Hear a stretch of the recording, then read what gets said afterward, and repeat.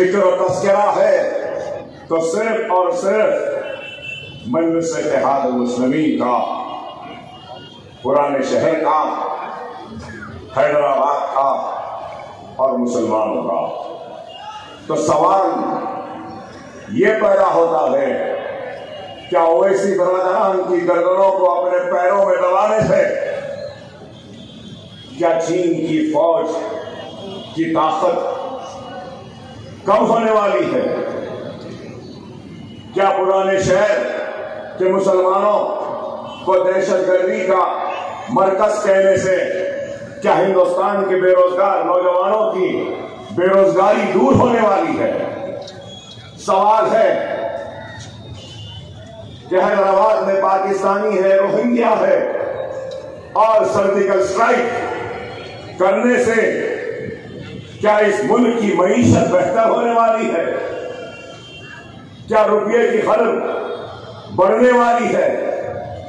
क्या surgical strike के बाद कोविड का खात्मा होगा? क्या कोरोना खत्म हो जाएगा? लेकिन आज इन लोगों को मुल्क से मोहब्बत नहीं, मुल्क के बेरोजगार नौजवानों की फ़िक्र नहीं। मुल्क की सरहदों की हिफाजत करने की इनमें ताकत और खयालत नहीं, चीन को मुँह तोड़ जवाब देने की इनके पास ज़रूरत नहीं। मीशत को सुधारने की कोई मंसूबाबंदी नहीं। सिर्फ़ अगर कुछ है तो नफरत कर तकसीम कर नफरत के ज़रिए अपने इकदार की कुर्सियों पर चिमट कर बैठे रहना मजलस इतिहाद मुस्लिम मज़हब की सियासत नहीं करती मजलस इतिहाद मुस्लिम मतलब की सियासत नहीं करती मजलिस इतिहाद मुस्लिम एक मकसद की सियासत करती है। मकसद को लेकर चलती है। और मजलिस इतिहाद मुस्लिम ने अपने अहिया से लेकर आज तक एक मकसद को लेकर आगे बढ़ी। और वो मकसद क्या था? मरकज सियासी का मकसद था। वो मकसद क्या था? तालीमी पसमानदगी को दूर करने का। वो मकसद क्या था? माशी पसमानदगी को दूर करने का। मकसद लेके चली वो मकसद क्या था? इतिहाद को पैदा करना। मकसद लेके चली कि शहर के मैदान में काम करे। सियासत के ज़रिए ना इंसाफियों पर आवाज़ उठाए। मरकज सियासी के ज़रिए अपने नुमाइंदों को ऐवान पार्लियामेंट व असम्बली वो बल्दिया तक पहुँचाए। मकसद क्या था कि ऐवानों में जाकर मसाइल के लिए रखते आज कई सियासी जमातें अपने मंशूर को इजराफ करते हैं इलेक्शन मैनिफेस्टोज देते हैं लेकिन मैं पूछना चाहता हूँ, कितने मैनिफेस्टोज आए? सत्तर वर्ष की हिंदुस्तान की आज़ादी। कई इंतखाबात हुए, कई मैनिफेस्टोज आए। क्या मैनिफेस्टोज पर अमल आवारी हुई? क्या वादे वफा हुए? क्या ऐलान पर अमल करे? क्या तयफुनात को पूरा किया? सिर्फ़ वादे, ऐलान। लेकिन हुआ क्या? क्या 2014 में पंद्रह लाख अकाउंट में डालने का वादा नहीं किया? क्या दो करोड़ नौकरियाँ देने का वादा नहीं किया? क्या स्मार्ट सिटीज़ का वादा नहीं किया? कहा है पंद्रह लाख? कहाँ है दो करोड़ नौकरियाँ? कहा है स्मार्ट सिटी चार मीनार पर। वाईफाई फ्री अरे फ्री तो छोड़ो।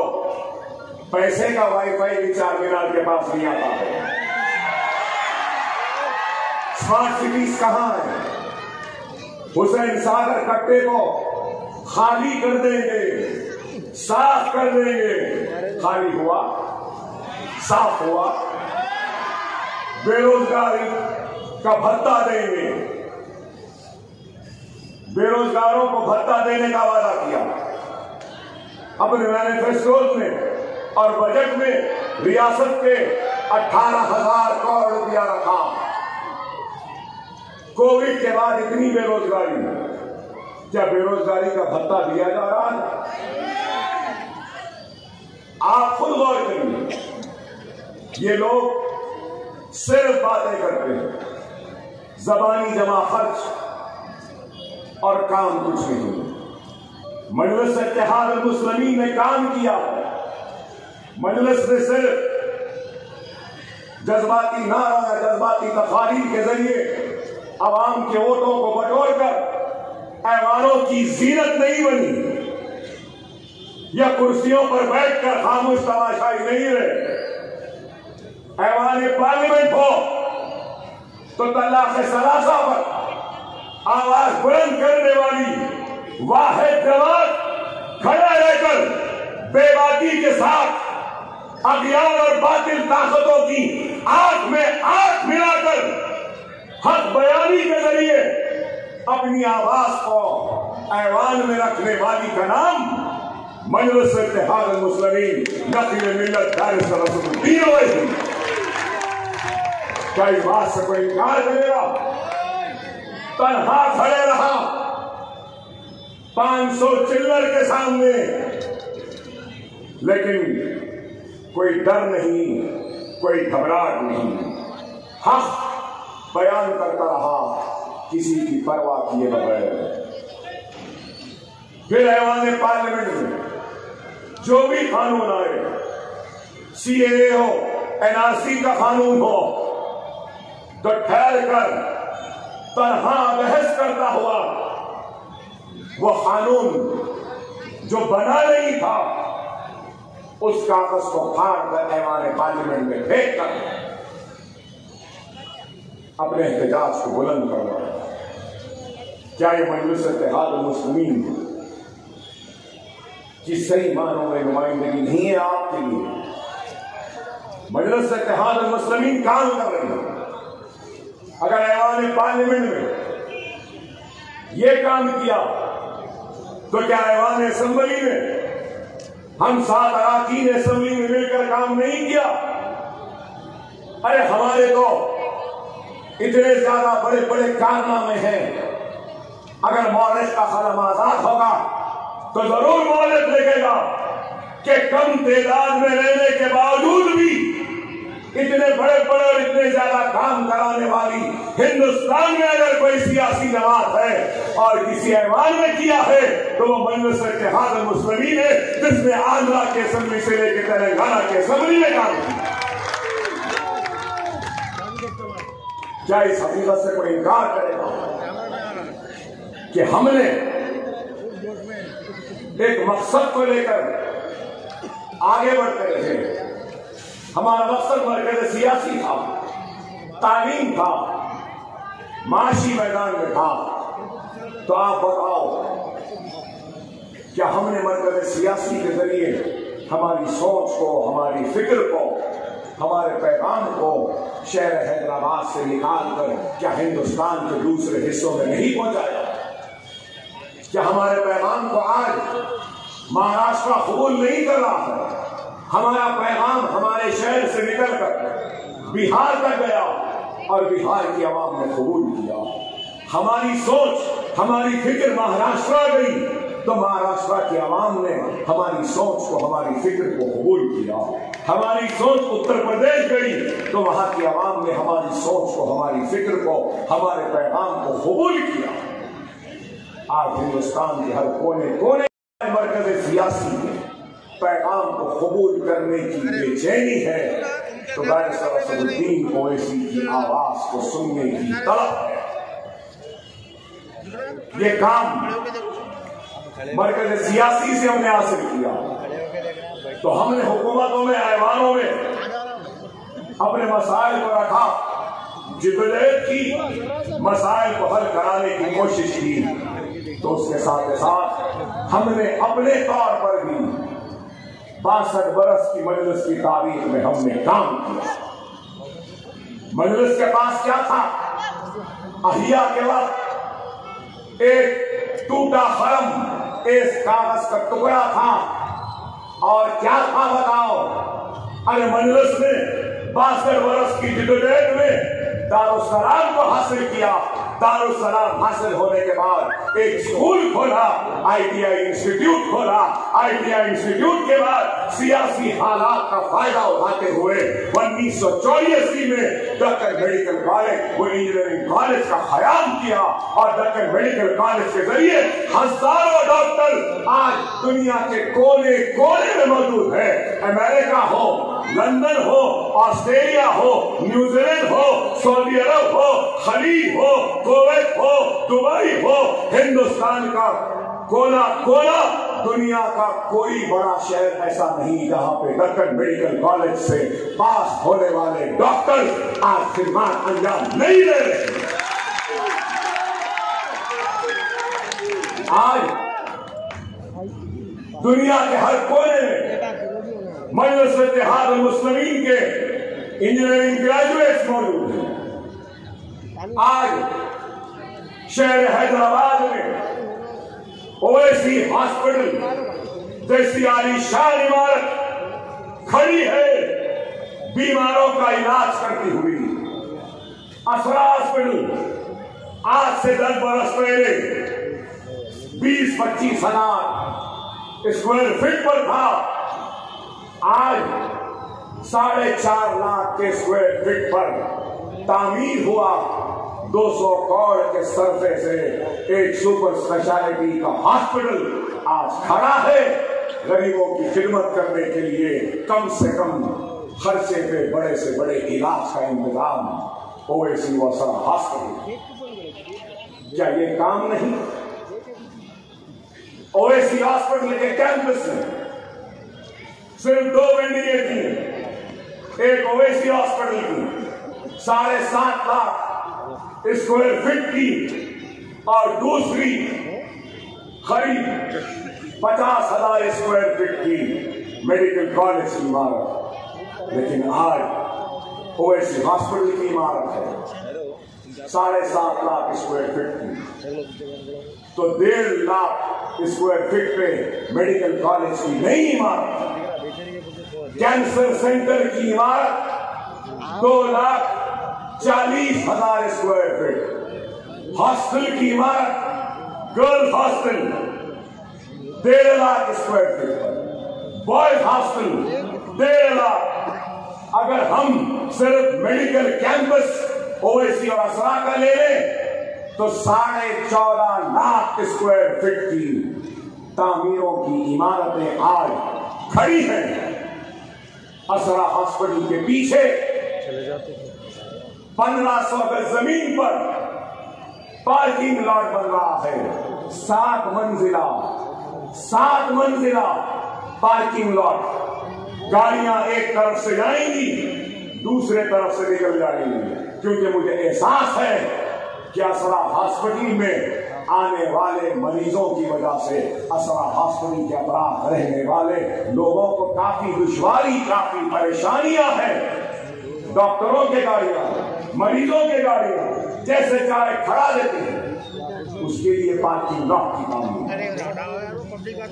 ओएससी हॉस्पिटल में इंशाला डेढ़ दो वर्ष में OAC cancer and research centre का भी ख्याल होगा डेढ़ सौ करोड़ रुपए के सरपे से कैंसर के आला तरीन हालात आएँगे रोबोटिक सर्जरी आएगी गामा नाइफ पेट ये सारे आलात आएँगे अरे आप बताओ मजलस इतिहाद मुस्लिम ने यह काम किया। क्या किसी और ने इतना काम किया?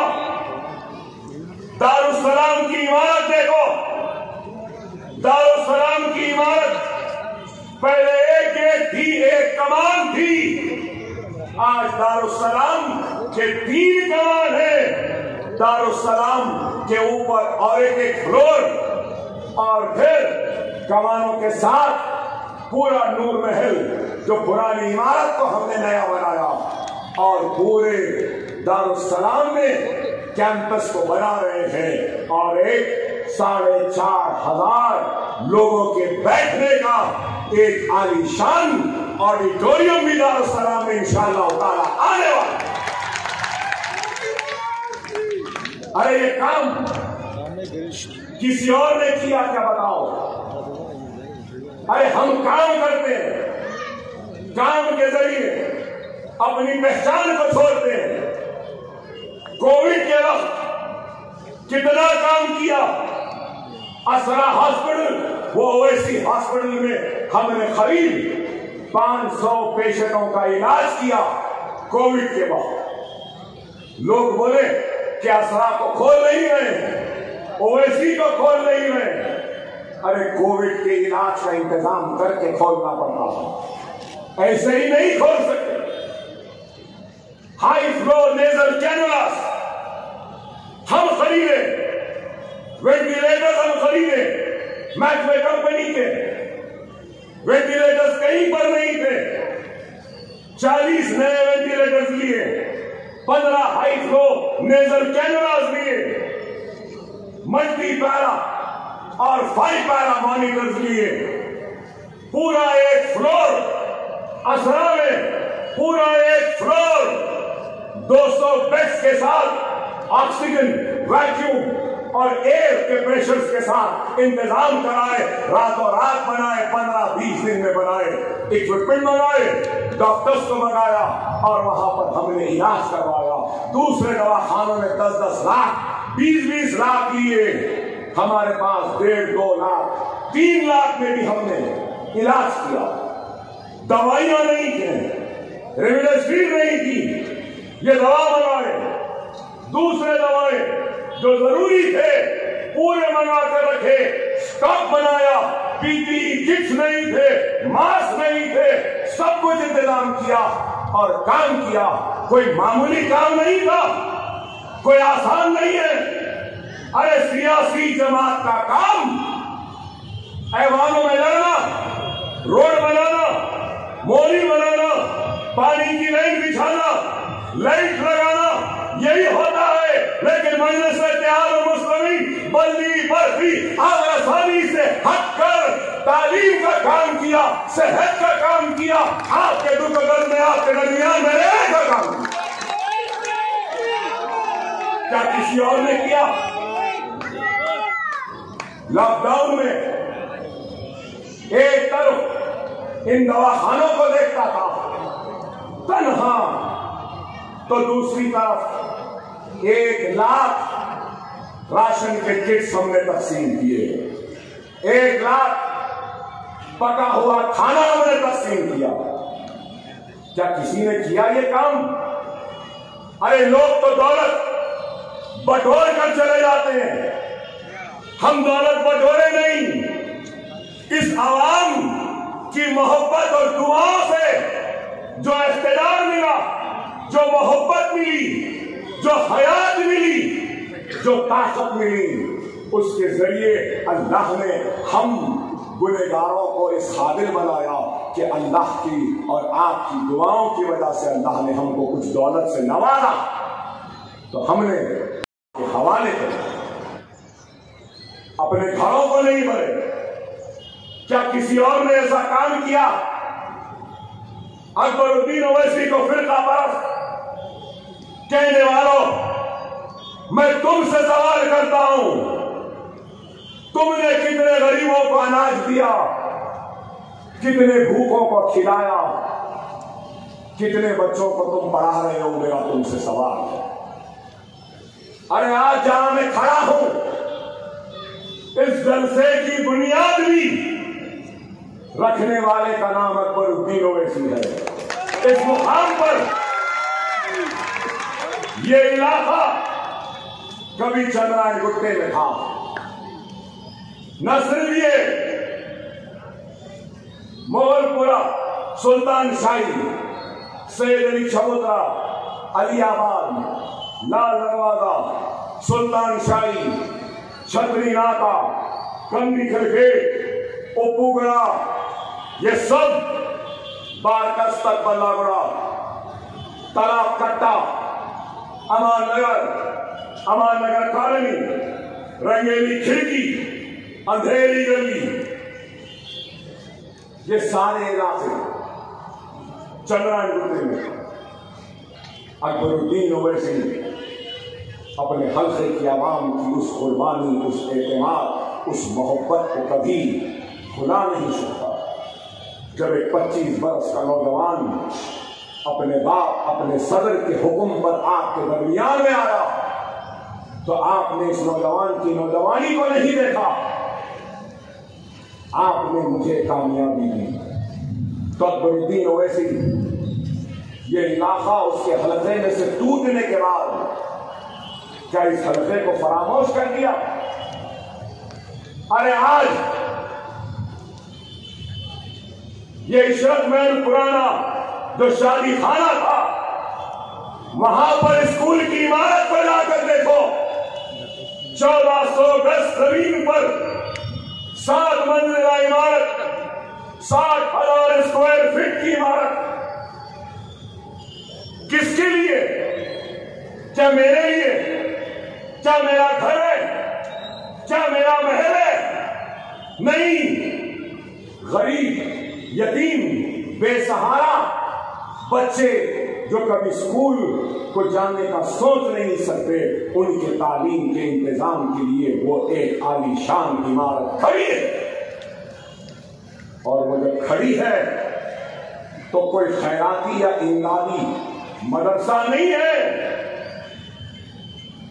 अरबपति कौरपति के रईसों की औलाद पे पढ़ने वाले स्कूलों में भी ऐसी शानदार क्लासरूम्स और ऐसी शानदार बिल्डिंग नहीं, जो अकबरुद्दीन ओवैसी ने गरीब मुसलमान बच्चों की तालीम के लिए बनाए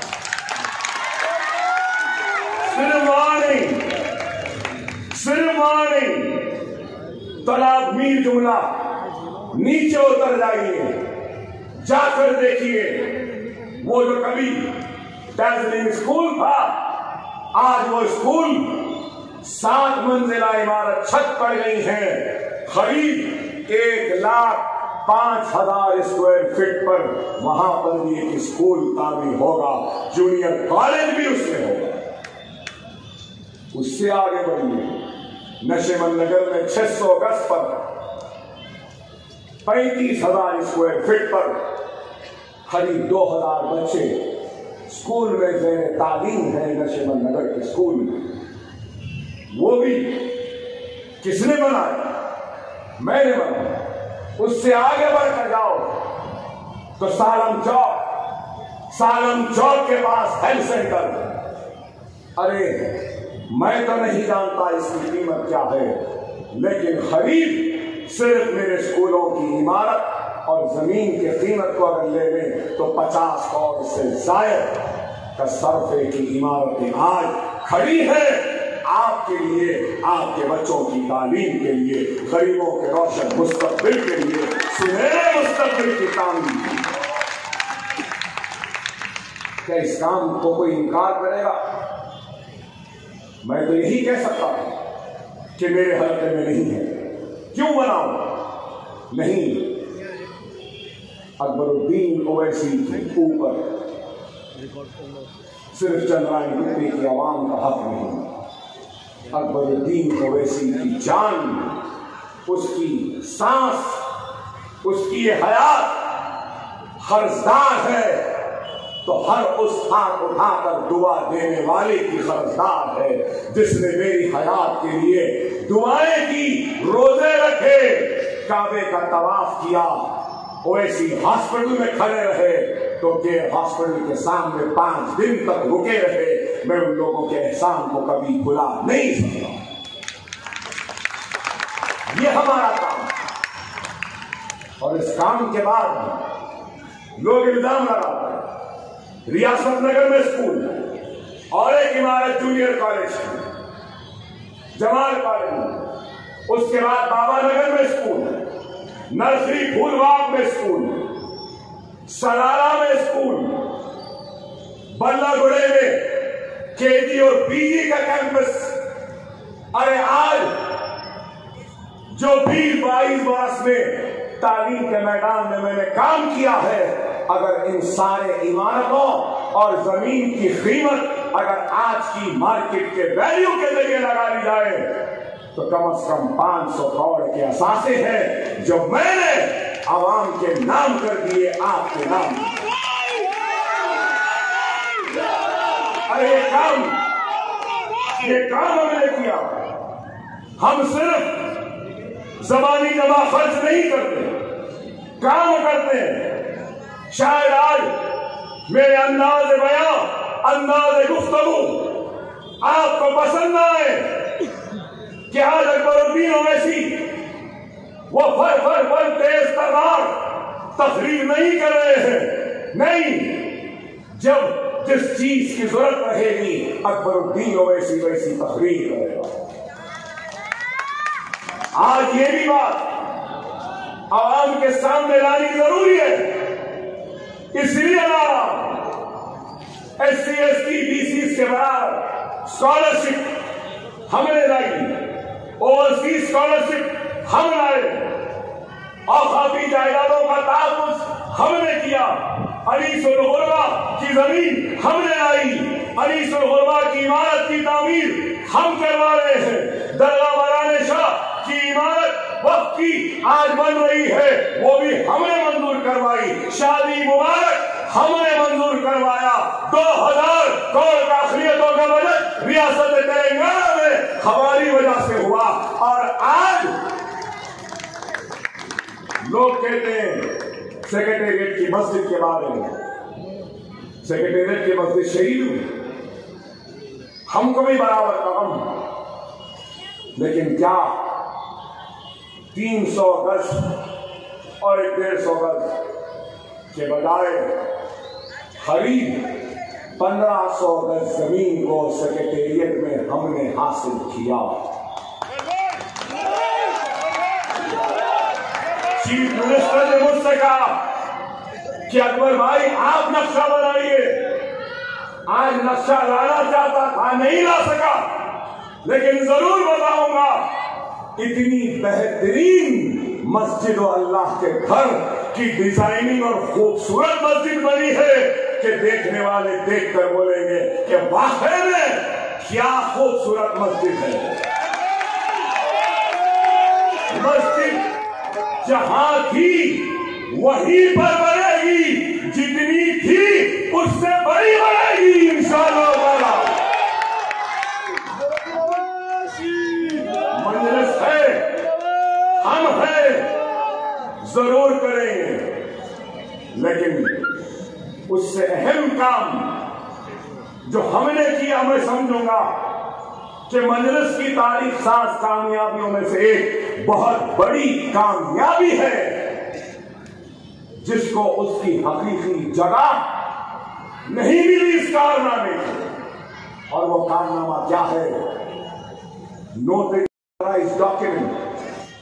Notarise document registered document के बराबर होंगे, इंशाल्लाह ये काम भी हमने करवाया क्या यह तलाक करते में नोटरी पर घर नहीं? नोटराइज डॉक्यूमेंट पर है। रजिस्टर्ड डॉक्यूमेंट नहीं।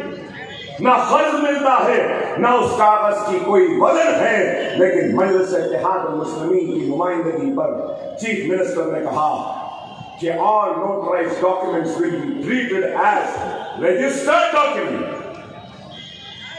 आज पुराना शहर आधा नोटरी पर नोटरी के कागज़ पर।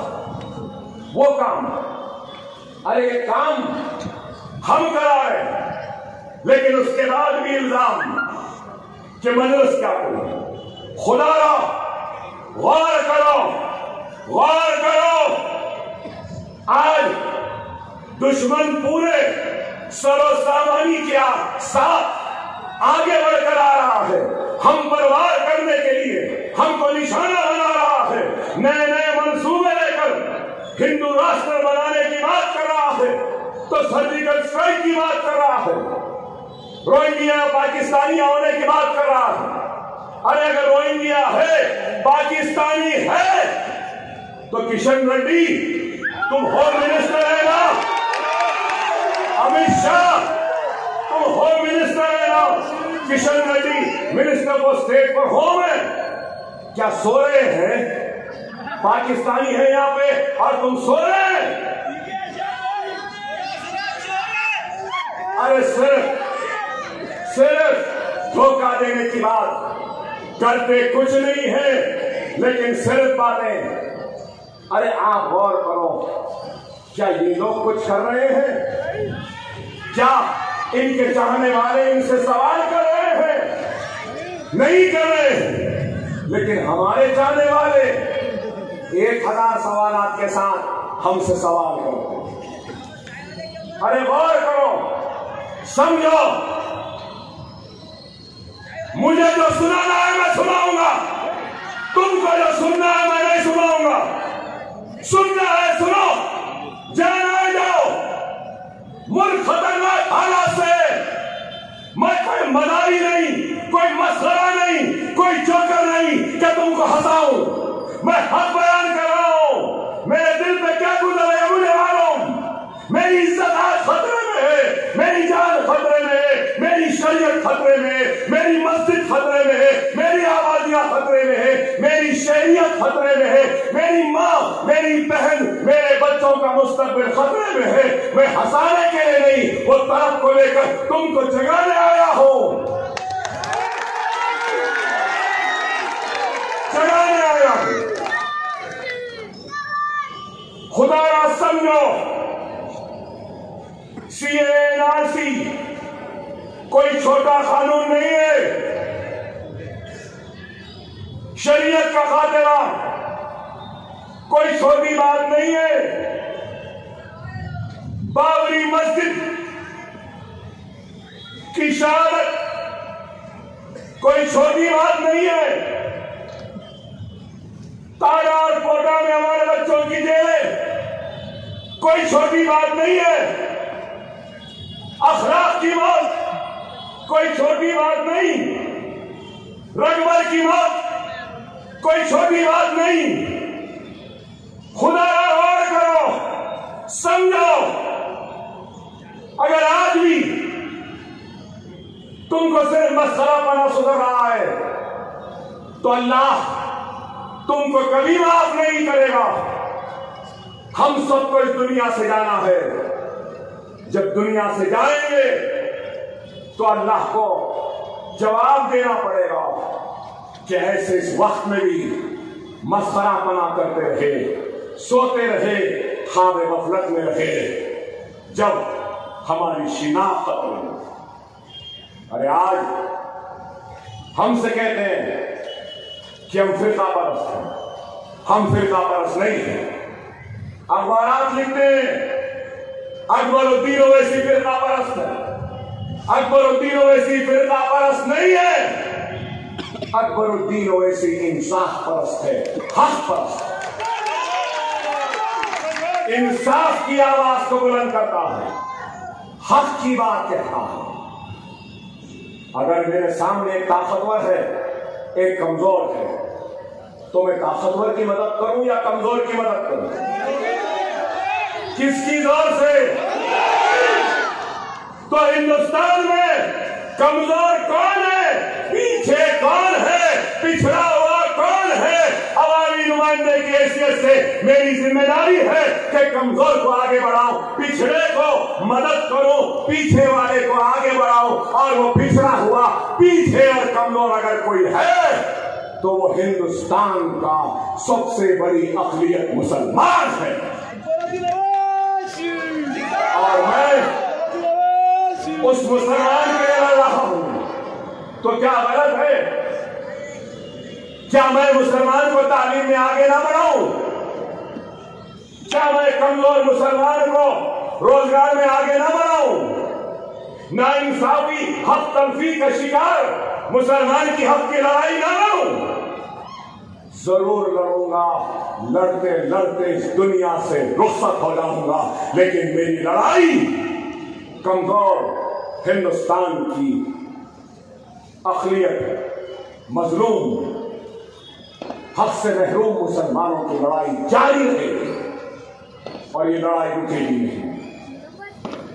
और ये कहना चाहता हूँ, हम इस मुल्क के दूसरे दर्जे के शहरी नहीं है। हम भी इस मुल्क के बराबर के शहरी हैं। जितना इस मुल्क पर नरेंद्र मोदी का हक है, उतना ही इस मुल्क पे अकबरुद्दीन ओवैसी का भी हक है। जितना इस मुल्क पर माथे पे तिलक लगाने वाले का हक है, उतना ही सर पे टोपी पहनकर चेहरे पे सुन्नत पालने वाले का भी। है इस मुल्क पर पगड़ी पहनने वाले ईसाई का भी, सिख का भी है, गले में सलीम रखाने वाले ईसाई का भी है, पारसी का भी है। ये मुल्क किसी की एक की बात की जाति नहीं है। न मेरी जागी है, न किसी गांधी खानदान की जागी है, न नेहरू खानदान की जागी है, न किसी रेड्डी खानदान की जागी है, न किसी राव के खानदान की जागी है, न नरेंद्र मोदी की जागी है। ये मुल्क सबका है और इस मुल्क पे सबका बराबर का हक है। कहते हैं कि अकबरुद्दीन ओवैसी ने हिंदू गॉड एंड गॉडेसेस पर हमला करता मैंने अखबार में पढ़ा, दो दिन पहले कहा कि अकबरुद्दीन ओवैसी की आदत है। वो हिंदू भगवानों को बोलता है, नहीं, कभी भी नहीं बोले हम, न बोलेंगे। अरे क्या भूल गए? इसी लाल दरवाजे की, महाकाली की मंदिर 120 गज पर वहाँ के हिंदू आकर मुझे बोले, अकबर साहब, हम बीजेपी के दरवाजे पर दस्तक दे देकर थक गए, फरियाद कर करके थक गए। कांग्रेस के पास भी जाके थक गए पीडीपी के पास जाके थक गए पीआरएस के पास भी जाकर थक गए। अब आपके पास आए हैं। ये बोनालो की पुरानी खदीम मंदिर है। इसके लिए आप ही कुछ करिए। तो क्या अकबरुद्दीन ओवैसी ने चीफ मिनिस्टर से नुमाइंदगी करेगा वो काम जो बीजेपी नहीं कराई, वो काम जो हिंदू राष्ट्र बनाने की बात करने वाली जमात नहीं कराई, महाकाली को दस करोड़ मंजूर करा के देने वाला अकबरुद्दीन ओवैसी है। क्या Mahakali Hindu god and goddesses नहीं? फ़िल्म करवाए। लाल दरवाजे छतरी नाका उपगुड़ा कंदीकल गेट, गौरीपुरा सुधा टाकिस के रहने वाले। बीजेपी के चाहने वालों, तुमने बीजेपी को और दिया। तुमको क्या मिला? इन लोगों ने मुझे दिया। दवा खाने मिले, स्कूल मिला, सब कुछ मिला। क्या बीजेपी ने तुम्हारे बच्चों के लिए एक स्कूल बनाया? आपको ज़रूरत नहीं है बोलने की, उनको बोलने दीजिए। मेरा सवाल उनसे लाल दरवाजे वालों, कोई स्कूल मिला? गौरीपुरा वालों, कोई दवाखाना मिला बीजेपी की तरफ़ से? कोई नौकरी मिली? अरे मैं कहता हूँ, तुम मुझे अपना दुश्मन कहते हो ना? इतने स्कूल बनाया? अरे आज ऐलान करता हूँ, एक स्कूल तुमको भी बना के देखो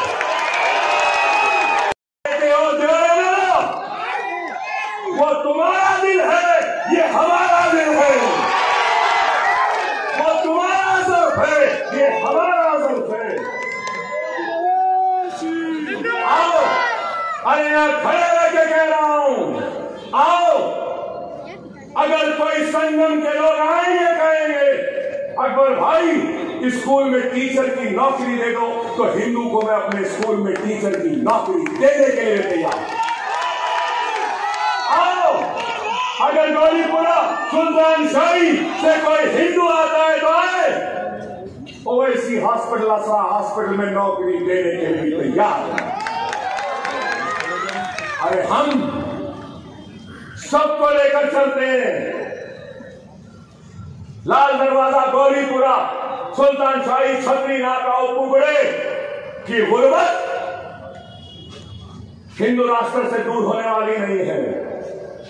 बेरोजगारी सिर्फ़ नारे लगाने से नहीं होगी, गेरुआ परचम लेके जाने से नहीं होगी। बीस बरस पहले अगर तुम भी साथ हो जाते तो तुम्हारे पास भी दो चार स्कूल बन जाते।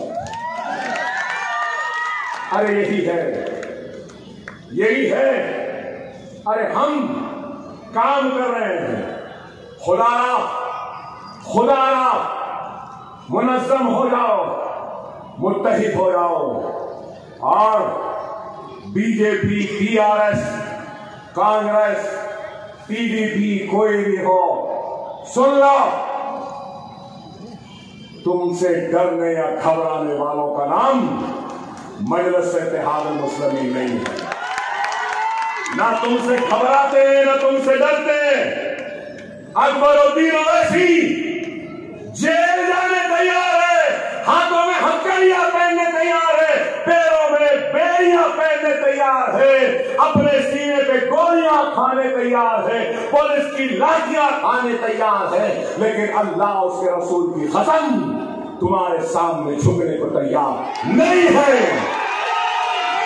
इसलिए कि ये सर अल्लाह की बारगाह में झुकता है। और मुझे मुझे फखर है कि मैं मुसलमान हूँ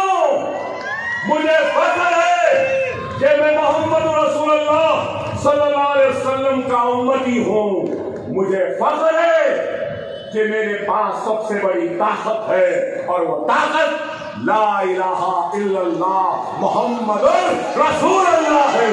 ला इलाहा इल्लल्लाह मोहम्मद रसूल अल्लाह ला इलाहा इल्लल्लाह मोहम्मद रसूल अल्लाह कलमा पढ़ने वाला मुसलमान हो। किसी के बाप से डरने वाला नहीं। नहीं, कल के चाय वाले से डरने वाले। ना ही कोई योगी थोड़ी से डरने वाले। अरे किसी से नहीं, हम अल्लाह से डरने वाले। अल्लाह को मानने वाले हैं। इज़्ज़त, जिल्लत, शोहरत, मौत और हयात सब रब्बुल आलमीन के हाथ रब्बुल आलमीन के हाथ अल्लाह देने वाला खुदा आपसे भी कहूँगा डरने वो घबराने की ज़रूरत नहीं है। डरेंगे? अरे हम ज़िंदा है। जब तक हम ज़िंदा है, आपको डरने की ज़रूरत नहीं है। और जब वक्त आएगा तो अकबरुद्दीन ओवैसी सबसे आगे होगा अपना सीना पेश करेगा अपने पे गोली देगा पहले खुद मरेगा और अपनी लाश पर मिल्लत को खड़ाएगा मिल्लत की लाश पे खड़े होकर ख्यालत करने वालों का नाम मजलिस इत्तेहाद मुस्लिमी नहीं है। आप साथ दो, हम आगे बढ़ेंगे। अगर कोई समझ रहा है कि डराने से डरेंगे नहीं, वो दिन गए जब तुम बोलते थे और हम सुनते थे। अब हम बोलेंगे, तुमको सुनना पड़ेगा। सर्जिकल स्ट्राइक करने वाला, अकबरुद्दीन ओवैसी के चार जुमलों की आतिश नवाई का तुम मुकाबला नहीं कर सकते। अभी मैं आप तमाम से यही अपील करूँगा कि पहली दिसंबर को, पहली दिसंबर को मजलिस के हक में अपना वोट इस्तेमाल करें। इस मरतबा बटन नहीं है, बैलेट है। पतंग के निशान पे ठप्पा, कागज़ को मोड़ना, डब्बे में डालना। एक एक और।